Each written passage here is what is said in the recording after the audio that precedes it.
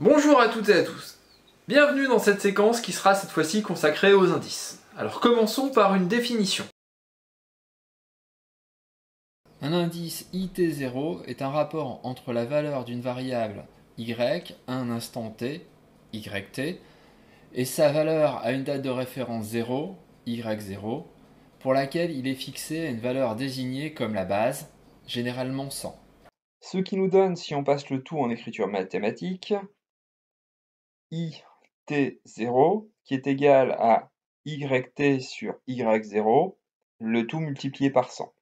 Illustrons ceci au travers d'un exemple. Le PIB annuel français en euros courants était en 2000 de 1485,3 milliards d'euros et en 2001 de 1544,6 milliards d'euros. On vous demande de calculer la valeur de l'indice en base 100 en 2000 pour 2001, soit I 2001 2000. On a I 2001 2000 qui va correspondre au ratio du PIB 2001, donc 1544,6 milliards d'euros, sur le PIB de 2000, 1485,3 milliards d'euros, que l'on va multiplier par 100. On va obtenir un indice en base 100 qui est de 103,99. Que peut-on en dire? La valeur de l'indice en 2000 est de 100. Il s'agit de notre base. Et il est en 2001 de 103,99. Si on soustrait notre base 100 à nos 103,99, on obtient 3,99 on voit que notre indice a augmenté de 3,99. Alors on peut calculer le taux de croissance de l'indice. Et donc on va avec notre première formule du taux de croissance faire 103,99 moins 100 que divise 100 et le multiplier l'ensemble par 100. Ou tout simplement faire le ratio 103,99 sur 100 moins 1 et le multiplier l'ensemble par 100. Et dans tous les cas, en fait, on va trouver 3,99%. En fait, notre indice, qui est passé de 100 à 103,99, a augmenté de 3,99%. Ici, on a une correspondance stricte entre les pourcents et les points. Alors si on fait le même calcul euh, sur la base des données de PIB, donc on va avoir notre taux de croissance qui va être calculé sur la base euh, du PIB. Donc on va avoir 1544,6 que divise 1485,3 auquel on va enlever 1 et multiplier par 100. En prenant notre deuxième formule, on va retrouver un taux de croissance du PIB de 3,99%. Strictement la même chose que le taux de croissance de notre indice. Notre PIB a augmenté de 3,99% entre 2000 et 2001. En fait, l'évolution d'un indice en base 100 peut être interprétée comme le taux de croissance de date à date exprimé en pourcentage par rapport à la référence. Quelles sont les propriétés particulières des indices? Alors on en a deux, la réversibilité et la circularité. Commençons par la réversibilité. Celle-ci se définit de la manière suivante. Un indice défini à la date t avec pour référence la date 0, IT0, peut être converti en un indice I0t défini à la date 0 avec pour référence la date t. On a alors I0t qui est égal à I00 divisé par IT0 que multiplie 100. Alors, I00, c'est tout simplement euh, la valeur de l'indice à la date de référence. Alors pour un indice en base 100, ce sera 100. Et le multiplier par 100, hein, c'est pour créer un nouvel indice qui est en base 100. Alors on peut simplifier tout ça un petit peu hein, en écrivant I0t qui est égal à 100 que divise IT0 que multiplie 100. Alors voyons une rapide démonstration. Partons de notre formule primaire, I0t qui est égal à I00 sur IT0 multiplié par 100. en fait, elle se réécrit I0t qui est égal à 100 que divise IT0 multiplié par 100. Et si on développe IT0, bah, on peut réécrire l'ensemble sous la forme suivante, puisque IT0 c'est YT divisé par Y0 que multiplie 100, donc on peut réécrire ça 100 que divise entre parenthèses YT sur Y0 que multiplie 100 et l'ensemble est multiplié par 100. Alors là on voit qu'on a 100 au numérateur et au dénominateur de notre fraction. Donc on peut simplifier en supprimant les 100. Et donc ça nous donne 1 que divise YT sur Y0 que multiplie 100. Alors, YT, enfin 1 sur YT sur Y0, bah, c'est tout simplement l'inverse de YT sur Y0. Et donc l'inverse de YT sur Y0, c'est Y0 sur YT. Et Y0 sur YT que multiplie 100, bah, c'est tout simplement notre indice I0T, ce qui conclut notre démonstration. Illustrons ceci au travers d'un exemple. Revenons sur l'indice de 2001 en base 100 en 2000. I 2001 2000. Pour obtenir l'indice de 2000 en base 100 en 2000, I 2000 2001, on va procéder aux opérations suivantes. I 2000 2001, c'est égal à I 2000 2000 sur I 2001 2000 que multiplie 100 Autrement dit, c'est égal à 100 que divise 103,99 que l'on multiplie par 100. Si on arrondit un petit peu tout ça, on va avoir 0,9616 que multiplie 100, soit 96,16. Et donc notre indice I 2000-2001, bah, ce sera tout simplement C 96,16.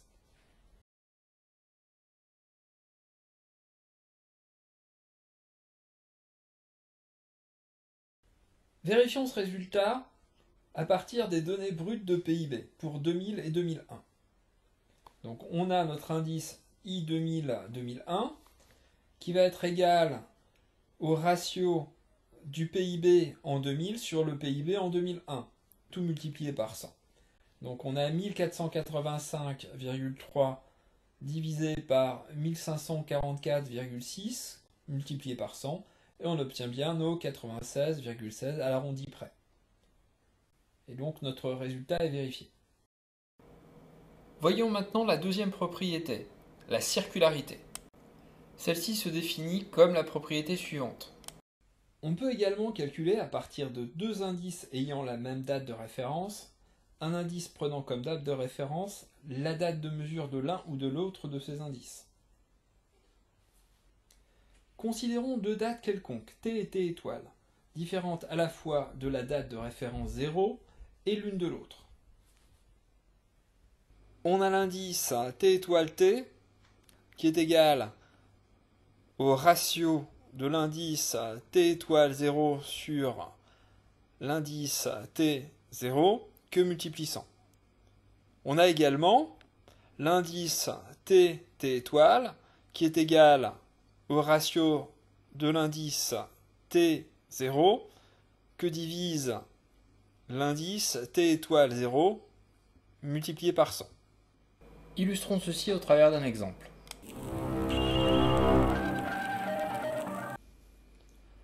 Appliquons ces calculs aux indices en base 100 dont la date de référence est 2000 pour le PIB de 2001, donc I 2001-2000, et de 2003 I 2003-2020.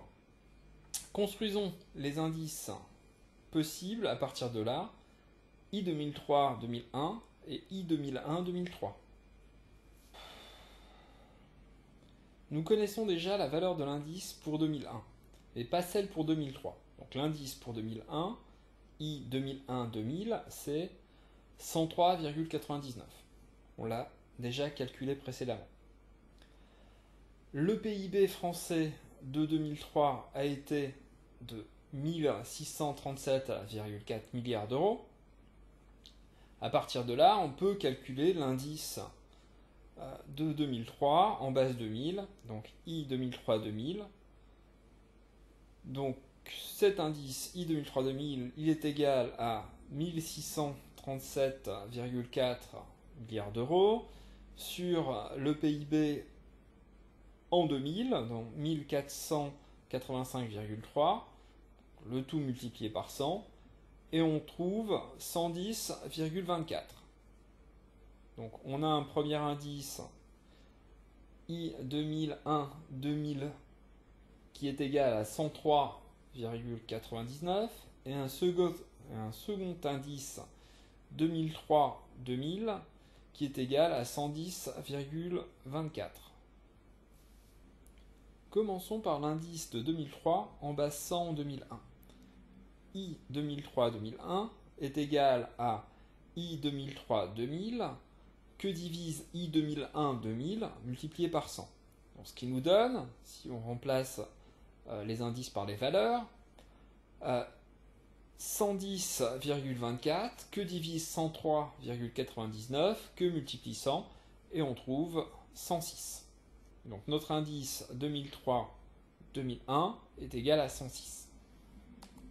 Vérifions notre résultat à partir des données de PIB brut. Alors, notre indice 2003-2001, on peut l'obtenir en faisant le ratio du PIB de 2003 sur le PIB de 2001 et en multipliant l'ensemble par 100. Donc on a 1637,4 que divise 1544,3 multiplié par 100 et on retrouve bien nos 106. Donc on a bien le bon indice. Voyons maintenant l'indice de 2001 en base 100 en 2003. I 2001 2003. I 2001 2003 est égal à I 2001 2000 sur I 2003 2000 que multiplie 100. Et tout ça c'est égal à 103,99 donc I 2001 2000 sur 110,24 I 2003-2000 que multiplie 100. Et donc si on arrondit à deux chiffres après la virgule, on obtient 94,33. Vérifions si on obtient la même chose à partir des PIB bruts pour 2001 et 2003. Donc calculons notre indice 2001-2003 à partir de ces PIB bruts. Donc l'indice va être égal au PIB de 2001 sur le PIB de 2003 que multiplie 100.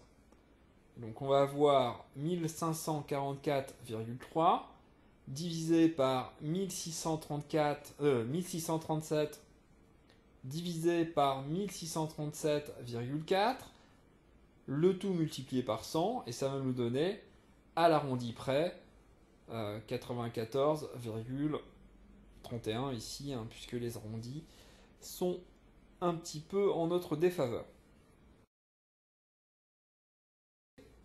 Alors maintenant qu'on a nos deux indices qui ont été calculés, voyons ce que l'on peut en dire. Alors notre indice hein, I 2003-2001, qui est égal à 106, il nous dit tout simplement que le PIB a augmenté de 6% entre 2001 et 2003. L'indice 2001-2003, 94,33, indique que le PIB était plus bas de 5,67 points en 2001 par rapport à 2003. Ce qui correspond, si on calcule le taux de croissance que doit avoir le PIB de 2001 pour arriver à la valeur du PIB de 2003 à 6,01%. Alors comment on obtient ça? Ben, On prend 100 la valeur de l'indice en 2003, que l'on divise par la valeur de l'indice en 2001, on soustrait à 1, donc on prend notre deuxième formule du taux de croissance, et on obtient bien, à l'arrondi près, 6,01. À l'arrondi près, en fait, notre euh, indice ou notre PIB, hein, c'est la même chose, doit croître de 6% pour atteindre les 100 en 2003.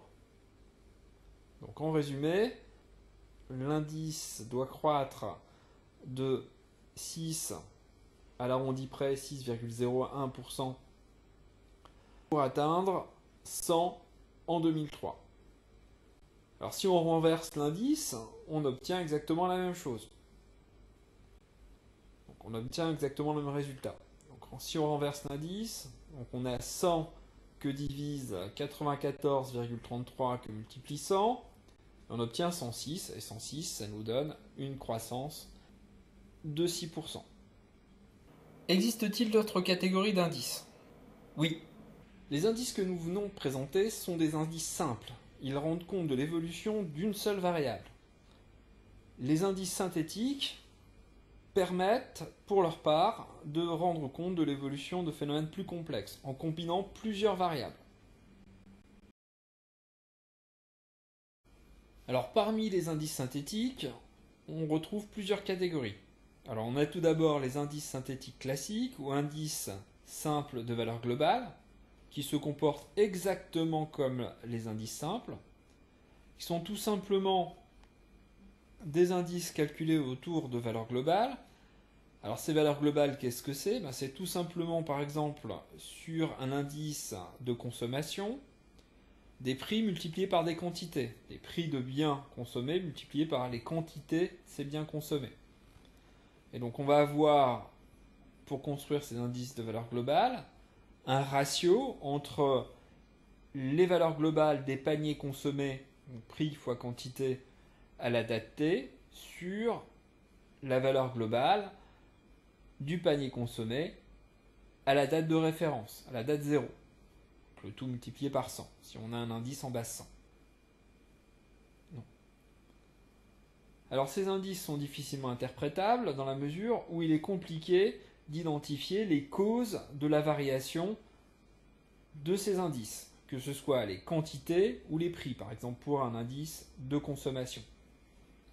Et donc on va généralement choisir de bloquer l'une ou l'autre de ces dimensions.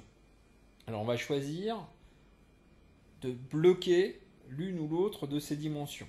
Donc on aura d'un côté des indices de prix, où on aura seulement la dimension prix qui va varier, et de l'autre des indices de type quantité, où on aura seulement la dimension quantité qui variera. Reste à déterminer la date où les éléments sont fixés.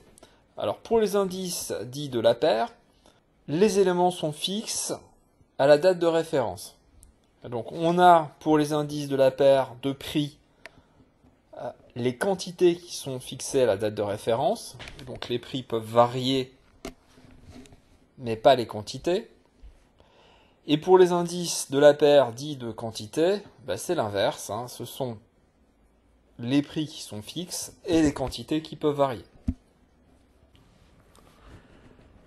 Pour les indices dits de Pache, l'élément fixe est déterminé à la date t. Donc c'est l'inverse des indices de la paire.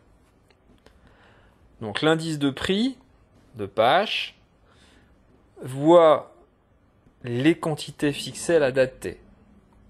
Et l'indice de quantité de Pache voit le prix fixé à la date t. Dans le premier cas, les prix peuvent varier, et dans le second, les quantités peuvent varier. Attention, en fixant une dimension, prix ou quantité, on perd les propriétés de circularité et de réversibilité des indices.